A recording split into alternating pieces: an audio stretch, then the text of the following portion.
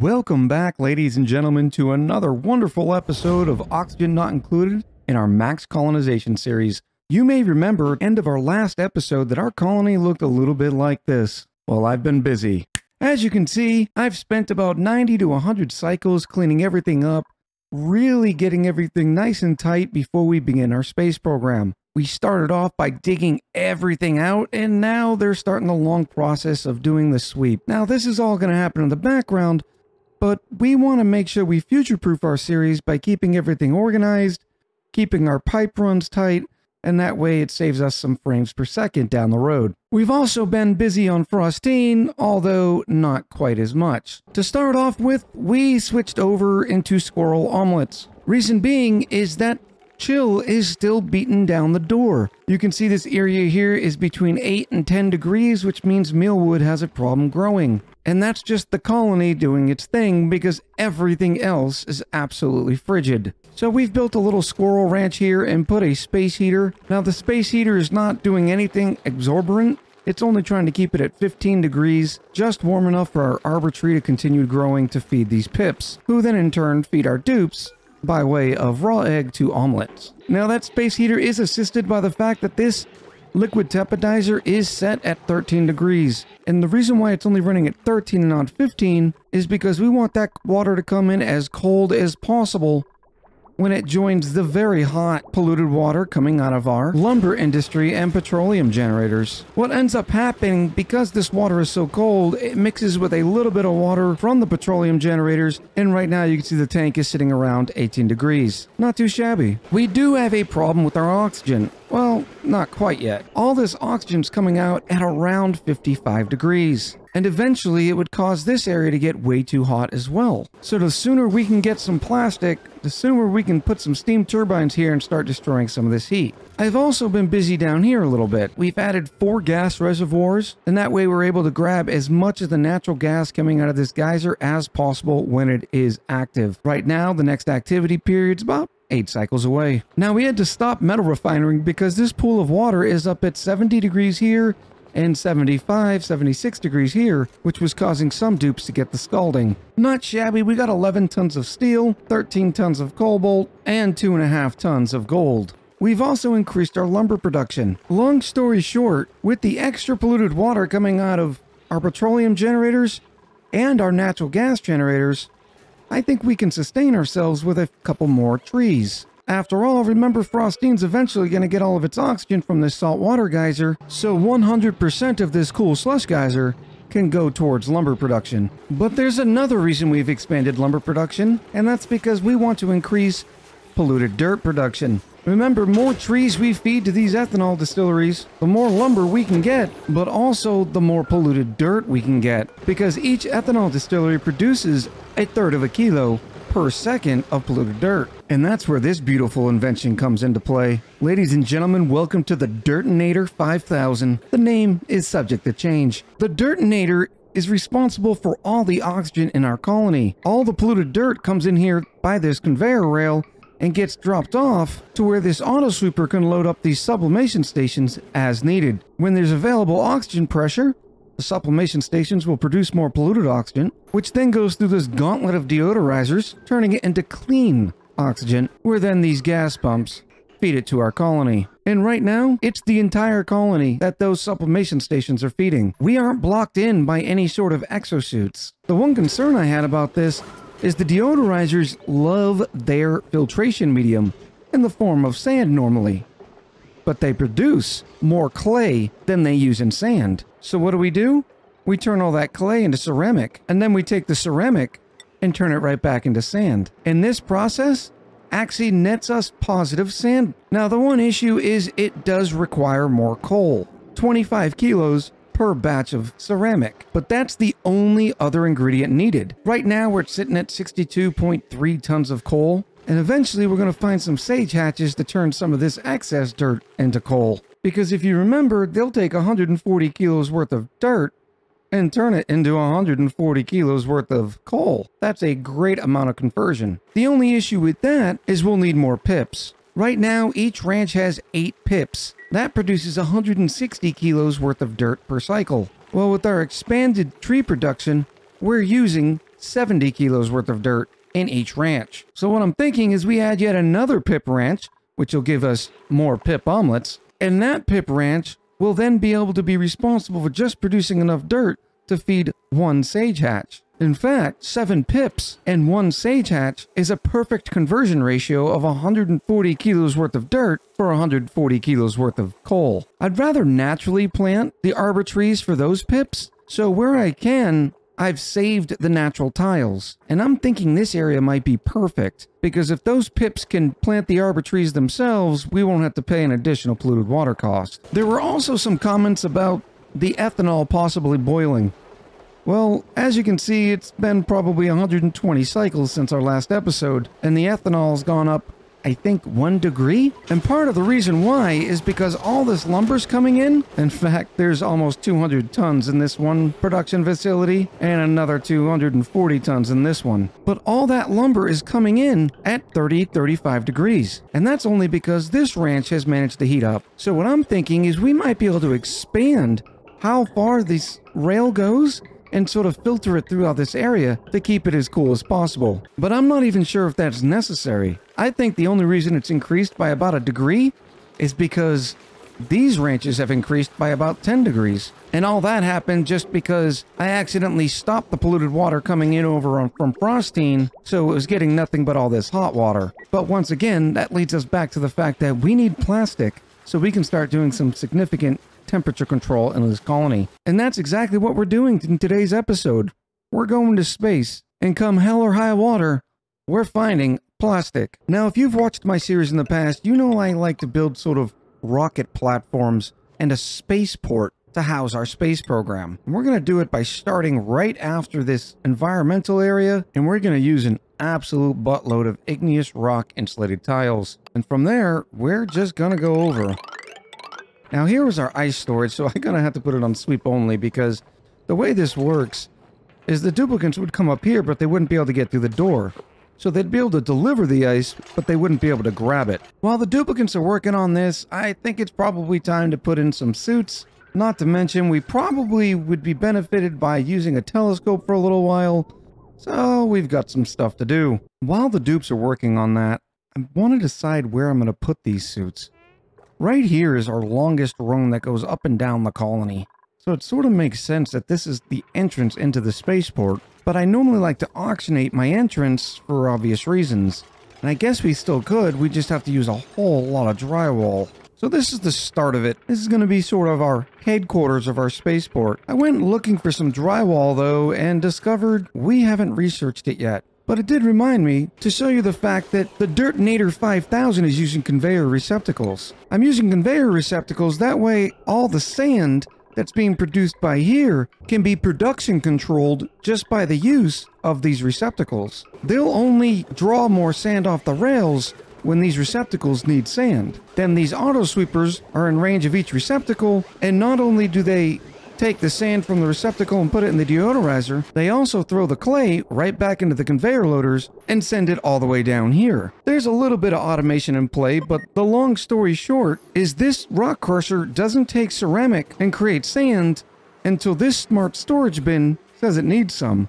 And then this smart storage bin that holds ceramic tells this kiln when to enable to disable to call for the creation of more ceramic, which is then handled all by Auto Sweeper, that in turn grabs the clay and the charcoal and then puts it in the kiln to create the ceramic. But it reminded me that I wanted to talk to you about it because conveyor receptacles were locked under applied science research. Let's go have a check on Miko over on Frostine. Frostine now has our first material study terminal, and it's a very simplistic process. We're grabbing radiation right off of this crashed satellite, which then goes in this Radbolt generator, fires it crossways to this Radbolt reflector, and then delivers it to this material study terminal. Now we have it only on 51, and it ends up being about 50 when it hits the material study terminal. That way it delivers it either when Miko's not here, or when they're standing right here, and not in between, which risks them getting hit. And as soon as this thing is full, it sends an automation signal back up to the Radbolt generator that turns it off and says stop collecting Radbolts. And it's pretty important too because we don't want to spend the 480 watts required all of the time. So we only activate the material study terminal whenever we need a little bit of research done. such as in the case of the conveyor receptacle. Now we are in the market for another duplicate. You can see that we're up over 125,000 calories, which means we need to eat more. Unfortunately, this printing pod was not it.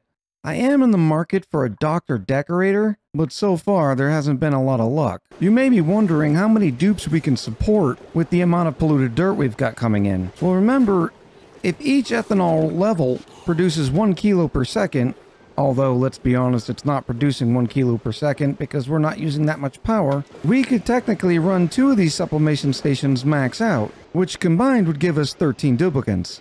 We're not quite there yet, but for those of you curious, we're actually going up in polluted dirt at 7 duplicates on this colony. I'll be able to tell because the overall polluted dirt will start going down when we're using more of it. You might be wondering about this conveyor loader here. It's only necessary to allow manual use to bring more polluted dirt in as it's produced here at the sludge press. Once all this is picked up, I think we can get rid of the sludge press because we've gotten just about all the polluted mud on this colony, but not the polluted dirt. So we'll have to make sure that we get rid of all of that polluted dirt and polluted mud before we can get rid of that conveyor loader. I really don't like the fact that drywall costs four times as much as a standard tile. I understand it's there probably for balance reasons, but drywall is thin and flimsy. A tile, you would think, is much more robust, but sadly, drywall costs twice as much. We're going to use granite for the extra decor.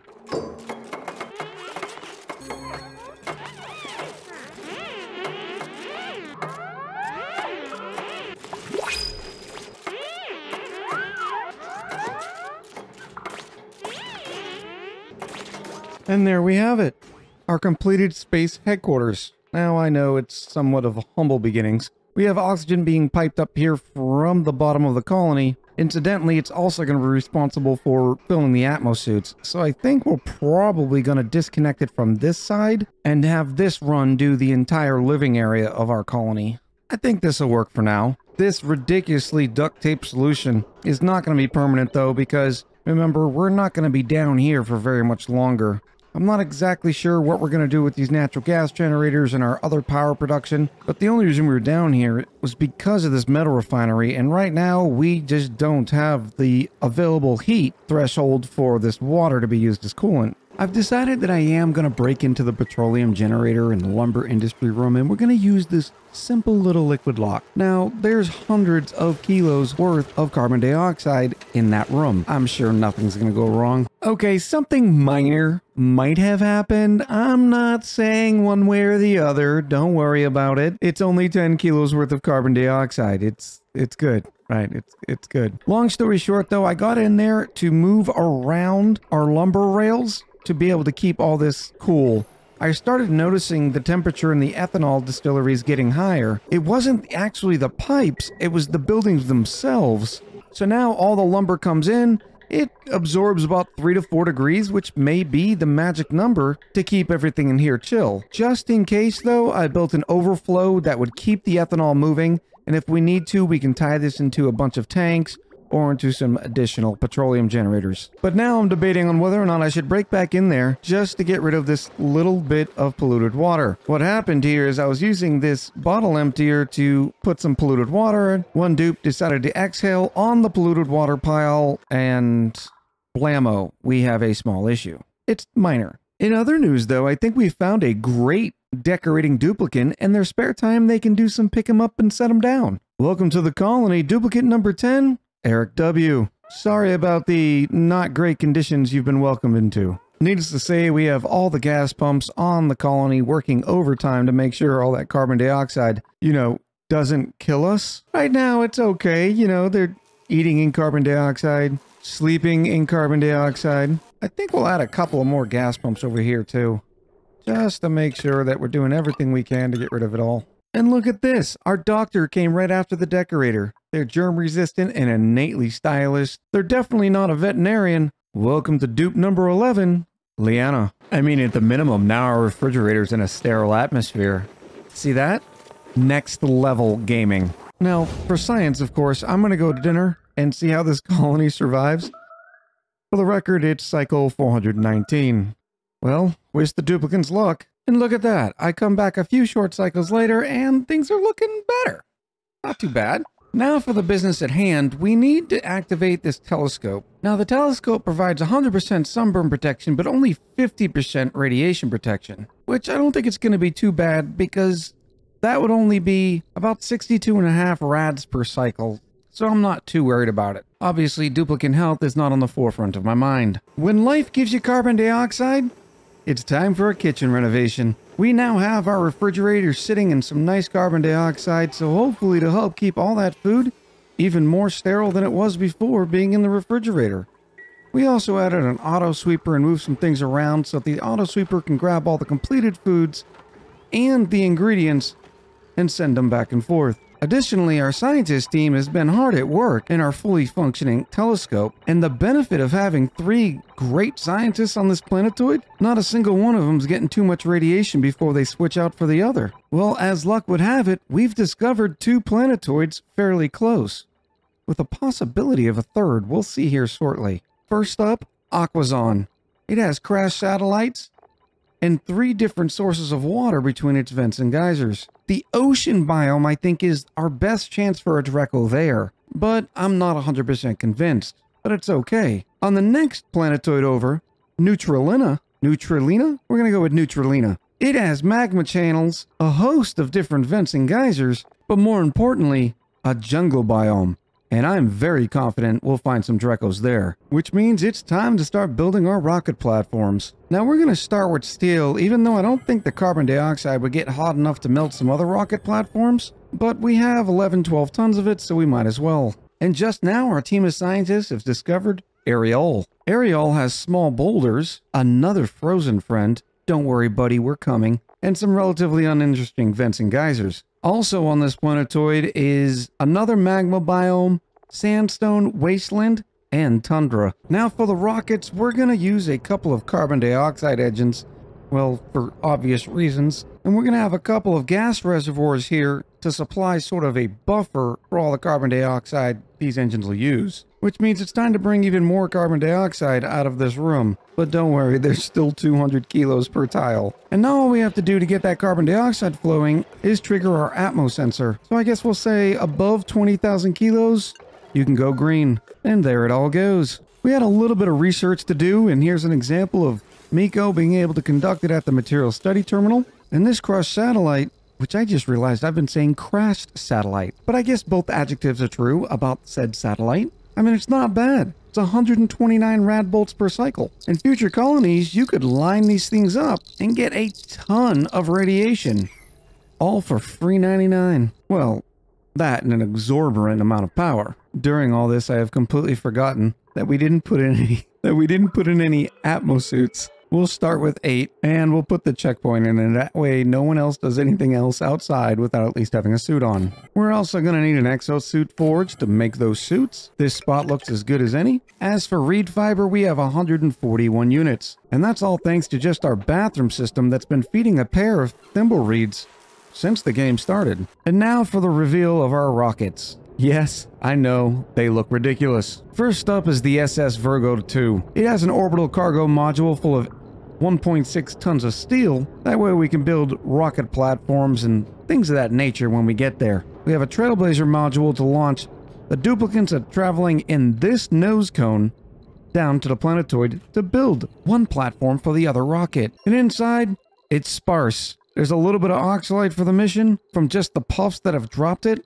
we had a total of about four tons, so we split them between the rockets. We have a little bit of swamp chard heart, and it's just enough to get this duplicate there with one cycle or two of contingency rations. A bathroom with no sink and a cot. There's not even a morale bonus in here. Well, I suppose we can put a nice hanging pot right there. Isn't that nice? Next is Rover 41. Rover 41 has a basic nose cone, a solar panel module, and then the Spacefarer module. This is going to be the living quarters for while the two duplicants are on the planetoid. Inside, it's not much better than the sparse livings in the tiny nose cone. I was able to get a barracks out of this, but that's about it. The introduction of this gas pump really messes everything up, and it needs to be at the very, very top. That way, there's no chance that it's going to take in any carbon dioxide when it's filling these two atmosuit docks. We have one extra storage bin to hold some materials and also to issue the command to go grab a critter egg. And then we have a manual generator to be able to back up that crappy little solar panel. We would have added another solar panel, but we don't have the glass. We just happen to have at least 200 kilos from around the colony, but otherwise we could have fit one more. We also have a couple ladder beds, a power outlet to bring the solar panel's power into this small battery, a couple of mess tables, and a couple of plants. Like I said, this is going to be a very, very short trip. We're getting there, we're grabbing some Drecko eggs, and then we're leaving. Now for the duplicates are going, first, it's gotta be John Mann. John Mann is really good at digging and pretty good at constructing, so we're gonna skill scrub them because we definitely don't want the 15 morale requirement on those rockets. And then we're gonna take one of the scientists.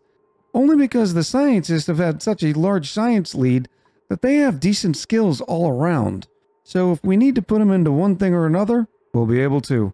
So let's get the two John skill scrubbed. Thank you, little dense puffs, for the donation of your oxylite. I mean, we have them all over this colony, and we're never going to kill them, because at a minimum, they're providing either slime or oxygen, and that's beautiful. John Mann is fresh out of the skill scrubber, so automatically we know they need at least one point into rocket piloting. And then I'm going to go ahead and give them both, one in construction and one in digging.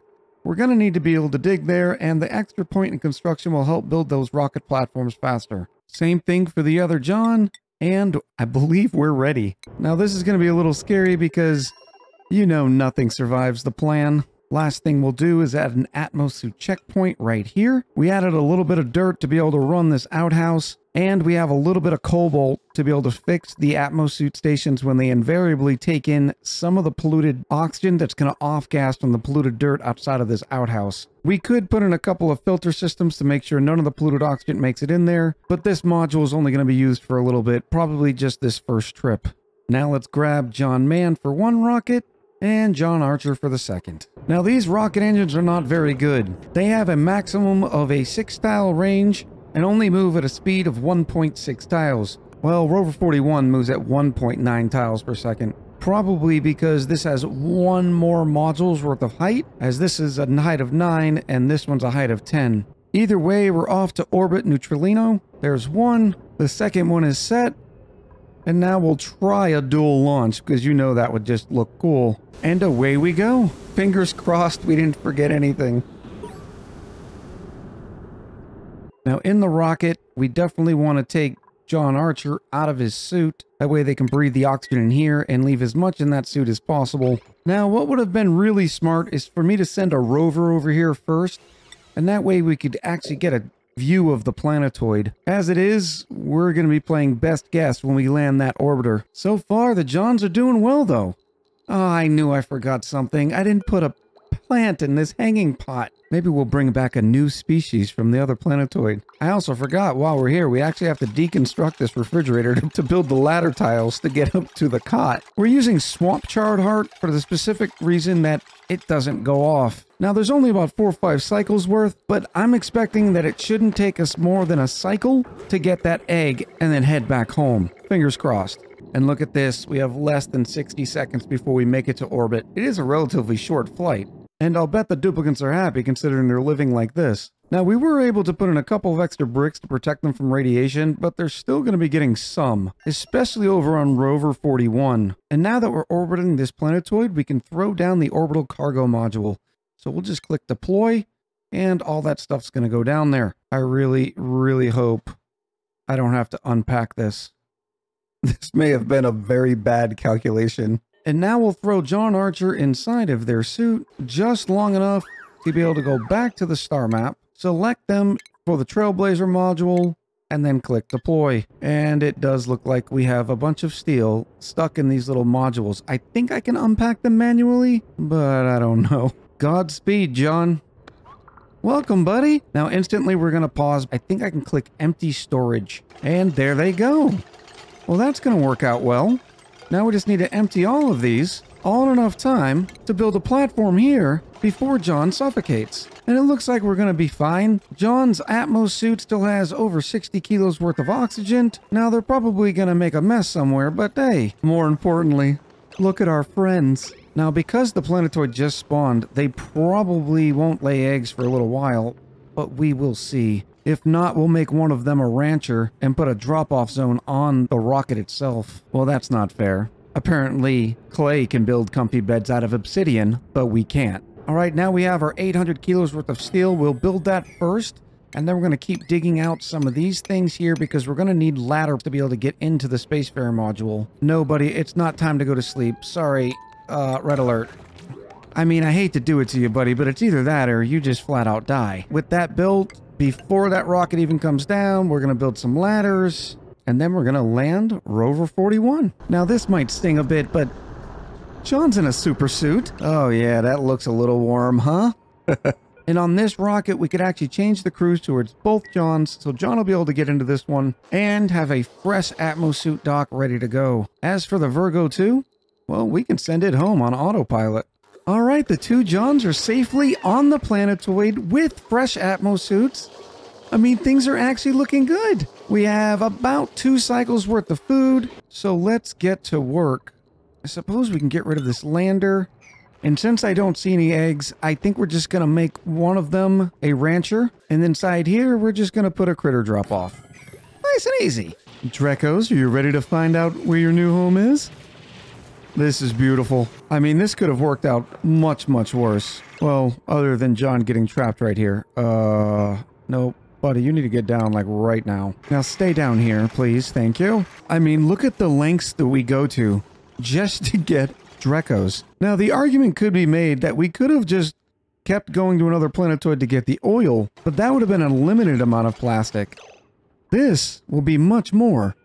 Now, unfortunately, this Drecko is 47, and this one is 60, so we'll have a limited time frame. We have to get them groomed and reproducing in short order. All right, now let's make one of the Johns a Critter Rancher. In fact, we'll just go ahead and make both the Johns Critter Ranchers. Inside of our rocket, we'll select Dreckos and Drecklets, just in case. And then it's just a matter of scooping them up whenever we can. Since we still have a couple of cycles worth of food, it's probably worth it just to go exploring a little bit. And if you were wondering how safe that orbital cargo module is, well, you can see that it scattered it all across the planetoid, so that was definitely taking a couple chances. But that's why it was good that we had 1.6 tons and we only had to build one rocket platform. Oh my goodness. Look at what's down here. I would love to bring this slickster home. Unfortunately, we don't have any plastic to make traps out of. I wouldn't suppose one of you would mind laying an egg. If they could lay an egg, and we can get that egg home, we could take all this carbon dioxide, start feeding to slicksters, and create oil and petroleum. It's okay. I know where you live now. I'll be back. Oh yeah, we found a few more Dreckos. Come to Papa. Alright, the last thing we're going to do on this planetoid is seal it back up here. I don't want all this gas to escape, and that way all these Pincha Peppernuts and everything keep growing, and it allows the Drecko to keep eating the balm lilies, but we'll be back soon for some slickster eggs. With everybody loaded up, it's time to change our destination back to here and we're ready to go. Now, there is a fuel warning. and the reason why there's a fuel warning, because we only have enough carbon dioxide for a one-way trip. Luckily, it's only supposed to be a one-way trip. We'll acknowledge the warnings and begin the launch sequence. I mean, that was pretty successful trip if you ask me. We're coming home with four Dreckos. We have 1,700 calories, They'll be able to split it. They'll be fine. And the autopilot Virgo II made it home, Elon Musk style. We do already have it on grounded, so nobody's going to come in here and use the toilet. Not that they'd actually want to, but we are going to uncheck Oxylite from here because we have better things to use our Oxylite for. And if we ever need to use this rocket again, at least it'll have a Mirthleaf plant. The Rover 41 made it home a-okay. Now this rocket interior will definitely need some updating before we take it on a larger trip, but we'll keep loading all the oxylite into here, and that way we'll have one rocket ready just in case. Now all that's left to do is transplant those Dreckos and get our Drecko farm started. And will you look at that?